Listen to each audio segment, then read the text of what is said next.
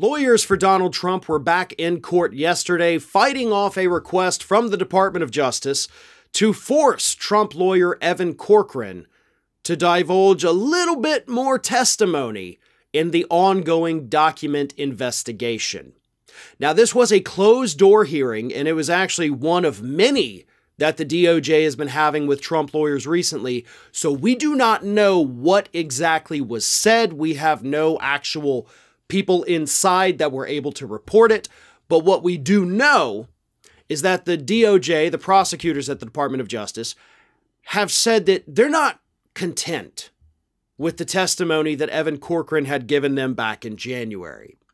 And just a refresher, let's not forget Evan Corcoran is the man who last June drafted the letter that was then signed by Christina Bobb swearing that they had done a diligent search and that there were no more documents at Mar a Lago. That was two months prior to the FBI going down there and finding all the documents basically just laying around.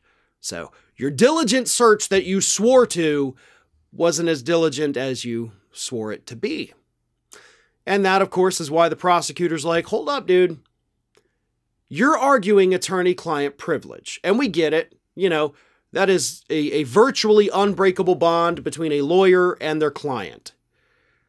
Except, of course, when the client uses the lawyer in furtherance of a criminal activity. And that is exactly what prosecutors are telling the judges this week. They're saying that we believe Donald Trump used Evan Corcoran or Evan Corcoran, on his own accord, willingly went along with this criminal activity. And yes, that would include perjury of drafting and signing the sworn document. So it doesn't have to be a major crime. It doesn't have to be Evan Corcoran smuggling classified documents out himself. It could be a crime as simple as perjury for making the document that, again, was a sworn document. It's just like lying in court and having somebody else sign it. And if that's the case, then attorney client privilege suddenly goes out the window. And Corcoran would then be forced to testify about every single thing. Now, if that were to happen, if this judge, Beryl Howell, does throw out the attorney client privilege claims, it's not going to be a blanket, uh, most likely not going to be a blanket, you know, ask him whatever he wants, he has to answer.